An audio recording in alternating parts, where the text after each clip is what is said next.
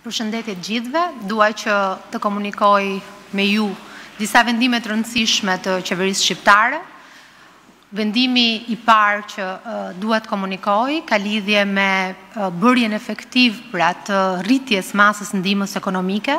duke filluar nga janari i vitit 2022, ashtu sikurse ju e dini, buxheti uh, tashmë për uh, mbrojtjen sociale dhe programet tona sociale është rritur, për programin e ndihmës ekonomike buxheti është rritur me rreth 15 milion dollar dhe janë pikërisht familjet të cilat janë përfituese të ndihmës ekonomike që do të përfitojnë nga kjo rritje, do të dyfishohet duke filluar nga janari i vitit 2022 masa e ndihmës ekonomike për rreth Pesëmbëdhjetë mijë familje përfituese të kësaj ndihme të cilat kanë pra mbi tre fëmijë deri në tetëmbëdhjetë vjeç, do të trefishohet masa e ndihmës ekonomike për fëmijët me status jetimi, për gratë e trafikuara dhe të dhunuara dhe do të rritet pra për pjesën tjetër të përfituesve me dhjetë për qind masa e ndihmës ekonomike sipas strukturës familjes. Është pikërisht ky vendim qeverie që bën të mundur në muajin janar rritjen e masës së ndihmës ekonomike sipas kategorive që unë sapo thash dhe gjithashtu edhe sipas strukturës së familjes së familjeve përfituese në këtë skemë. Është pra një politikë sociale e cila bëhet efektive me buxhetin e vitit dy mijë e njëzet e dy dhe synon të mbështesë të gjitha familjet në nevojë ekonomike dhe sociale që janë pjesë e skemës së mbështetjes sociale nga Ministria e Shëndetësisë dhe Mbrojtjes Sociale. Dua gjithashtu të komunikoj me ju një tjetër vendim të rëndësishëm, një vendim që mbështet një prej strukturave spitalore më të rëndësishme në vend, që ofron shërbime sekondare dhe terciare në vendin tonë, Spitalin Memorial në Fier. Spitali Memorial i cili tashmë janë bërë më shumë se 6 muaj që po funksionon falë investimit që u krye në kuadër të mbështetjes qeverisë turke dhe që po funksionon duke rritur gamën e shërbimeve të tij dhe duke shërbyer më shumë se 330.000 qytetarëve të tre qarqeve të jugut të vendit, po rrit shërbimet dita ditës. Deri më tani janë ofruar më shumë se njëzet e nëntë mijë shërbime, duke përfshirë këtu nga konsultat ambulatore, ekzaminimet imazherike, duke vijuar me ndërhyrjet kirurgjikale dhe mbi të gjitha ajo çfarë po ndodh pra në këtë strukturë të re spitalore është që po bëhet një model i mirëfilltë ku ne Me miratimin e Ligjit për Kujdesin Spitalor në Republikën e Shqipërisë do të mundet të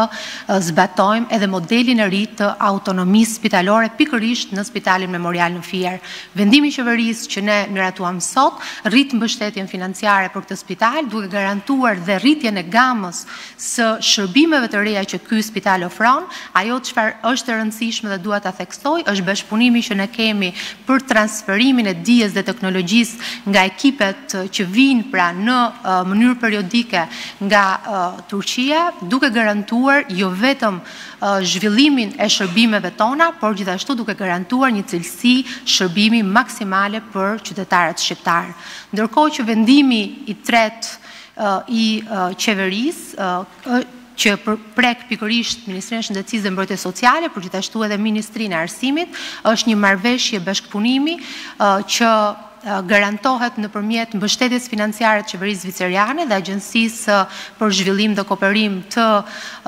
të qeverisë zviceriane dhe që bën të mundur pikërisht edukimin shëndetësor tek fëmijët e grupmoshës gjashtë deri gjashtëmbëdhjetë vjeç në shkolla. Ky është një projekt i cili do të jetë me një kohështrirje pesë vjeçare dhe do të synojë pikërisht një edukim shëndetësor për sëmundjet jo të transmetueshme dhe një zhvillim të mirëfilltë pra në brenda dhe jashtë kurrikulës shkollore të edukatës shëndetësore për fëmijët e kësaj grupmoshe falë kësaj marrëveshje që ne kemi miratuar. Kemi pyetje?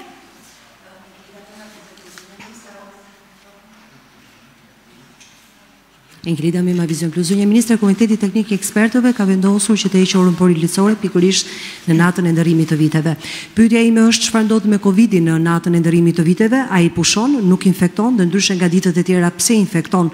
dhe nuk pushon, dhe po aq pyetja është ka masa të cilat ndalojnë grumbullimet, por mjafton të shohim vetëm faqen e Fejsbukut të deputetit të Partisë Socialiste Erion Braçe për të kuptuar që këto grumbullime vazhdojnë, çka tregon se masat janë teorikisht, por praktikisht nuk zbatohet dhe duke u nisur nga rasti i fundit, ata që festonin kundër masave anti-Covid ishin të gjithë mjekë, pavarësisht ishin te një spital privat. Faleminderit për pyetjen. Pyetja e parë në lidhje me vendimin e Komitetit Teknik për datën 31 dhjetor, e cila do të jetë një datë që praktikisht ora policore do të bije vetëm për datën e ndërimit të viteve. Është një vendim që Komiteti Teknik e ka bazuar duke iu referuar situatës epidemiologjike në vend, duke bërë një vlerësim të indikatorëve të incidencës pikërisht rasteve pozitive, rasteve të cilët janë në, në të shtruar në spitalet tona dhe gjithashtu dhe të situatës në tërësi të pandemisë COVID-19 në Shqipëri, ka vlerësuar që data 31 të jetë një ditë e hapur, duke qenë se ka bërë praktikisht një vlerësim edhe të më të gjërë pra të situatës edhe në rajon. Sigurisht që është shqetësues varianti Omikron, i cili edhe në vendet europiane aktualisht ka një rritje të progresive, po themi, në ditët e fundit, por dita 31 dhjetor, e cila është vlerësuar nga komiteti i ekspertëve që do të jetë pra një ditë e hapur, Ai ka theksuar faktin që do të kërkohet pikërisht një kujdes i shtuar, që do të thotë që do të lejohen lëvizjet këmbësore, padyshim dhe ato të qarkullimit pra të njerëzve, sepse dihet që Viti i Ri mbledh në familje dhe festohet, por gjithashtu komiteti ka rekomanduar që të gjithë këto festa të jenë me familjen e vogël, pra sa me më pak shkëmbime dhe kontakte dhe gjithashtu të jenë të vaksinuar dhe me masa mbrojtëse, që do të thotë të jenë të testuar duke kështu mbrojtur edhe ata të cilët janë më të riskuar. Nga ana tjetër, dhe që është sërish e rëndësishme, mos harrojmë që ne kemi protokolle shëndetësore të miratuara. Këto janë protokolle të cilat janë në zbatim dhe për t'iu përgjigjur edhe pyetjes suaj të dytë, protokollet përcaktojnë pikërisht masën dhe kapacitetet që duhet të kenë baret, restorantet për të zhvilluar aktivitetin e tyre. Inspektorati Shtetëror Shëndetësor në të gjithë funksionet që ai ka, bën gjithë inspektimet e nevojshme, vetëm përgjatë ditës së djeshme janë kryer më shumë se treqind e njëzet inspektime për masat anti-Covid, duke vendosur më shumë se njëqind e njëmbëdhjetë rekomandime për përmirësime masash, duhet të kuptojmë shumë mirë që lufta me pandeminë është një luftë që i përket të gjithëve, ndaj përgjegjësia qytetare, përgjegjësia individuale, pavarësisht faktit që. gjithë strukturat shtetërore janë në këmbë për të zbatuar me përpikmëri funksionet e tyre, duhet që të rritet akoma më shumë.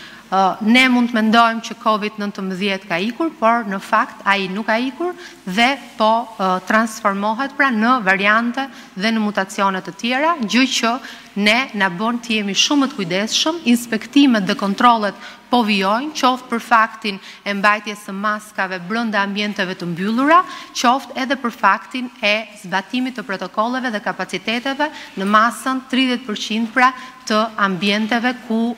ofrohen shërbime. Nga ana tjetër, dua edhe një herë ta përsëris edhe për publikun, nga data katër janar, Ne do të vendosim pra në fuqi paraqitjen e Green Pass-it në të gjithë sistemin e administratës publike dhe të shërbimeve. Sigurisht do të shoqërohet ose me certifikatën e vaksinimit, pra hyrja në institucione apo për punonjësit e supermarketeve dhe dhe strukturave të tjera të shërbimeve, ose me certifikatën e shërimit, që është një certifikatë tashmë e disponueshme në sistemin e-Albania, përveç se Green Pass-it, pra apo certifikatës së vaksinimit, apo nëpërmjet testit ku vlerësohet pra statusi shëndetësor apo ku tregon pra që nuk je i infektuar dhe që duhet bërë një herë në pesë ditë dhe do të kontrollohet nga strukturat tona të Inspektoratit Shtetëror Shëndetësor.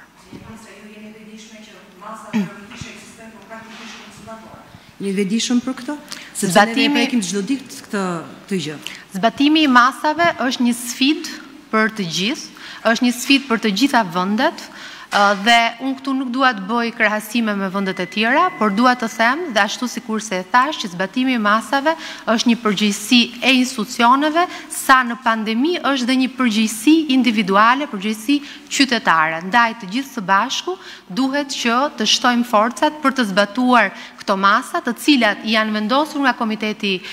Teknik i Ekspertëve, kontrollohen nga strukturat e Inspektoratit, pra Inspektoratit Shtetëror Shëndetësor dhe pas orës njëmbëdhjetë që është ora policore nga strukturat e Policisë së Shtetit. Ne do të vijojmë të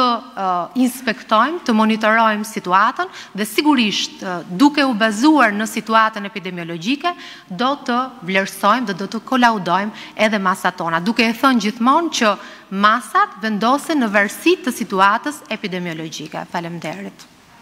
Zonja ministre, më falni, edhe një pyetje të fundit. Ditën e djeshme ju përmendët gjatë pikës së dytë përmendët spitalin e Fierit, një investim i qeverisë turke. Ditën e djeshme në mediat turke ka qarkulluar një deklaratë e zotit Erdogan, i cili ka përmendur se vaksinën turke, pra Turkovac, do ta do ta shpërndajë dhe do ta ndajë edhe me vendet tjera. A pritet të vijë vaksina Turkovac në Shqipëri, a do e marrë vaksinën Shqipëria dhe në rast se do e marrë, do e marrë nëpërmjet donacioneve apo do e blejë vaksinën Turkovac? I referohem këtu gjithmonë një deklarate të tij. Qeveria shqiptare ka siguruar për qytetarët shqiptarë disponibilitetin e vaksinave. Aktualisht ne kemi aplikuar më shumë se dy pikë tre milion vaksinime, pra doza vaksine. Kemi kanë ardhur në Shqipëri më shumë se dy pikë gjashtë milion doza vaksine. Jemi në pritje në datën 31 dhjetor sipas informacioneve të Pfizer dhe Bashkimit Europian për një sasi tjetër të vaksinave Pfizer, treqind e shtatëdhjetë e pesë mijë vaksina do të mbërrijnë pra në fund të dhjetorit në Shqipëri falë mbështetjes së Bashkimit Europian dhe gjithashtu ne jemi në pritje pra të finalizimit të negocimit të kontratës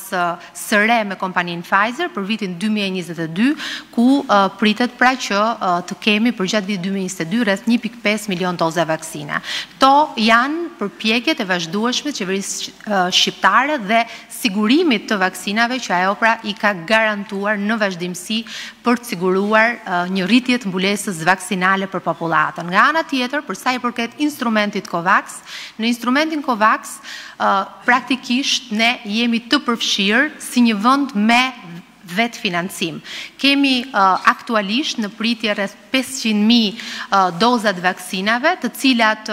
ne presim pra që të informohemi nga vetë instrumenti se cilat janë vaksinat e miratuara. Duhet të dini që çdo shtet që është pjesë e instrumentit të COVAX dhe që është me vetëfinancim zgjedh vaksinat, që merr pra nga instrumenti, instrumenti ofron shumë vaksina, me sa jam e informuar deri më sot ka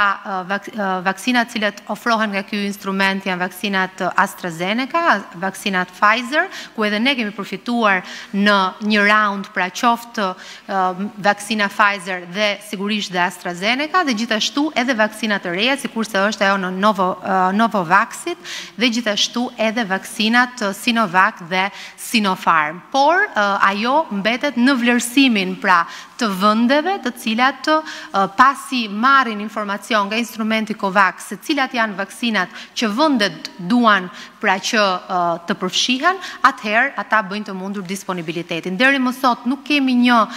një thirrje pra nga instrumenti COVAX për vaksinën turke, pra që është disponibël nëpërmjet këtij instrumenti, nëse do ta kemi, do ta vlerësojmë nëpërmjet komitetit tonë të ekspertëve. Faleminderit, faleminderit gjithë.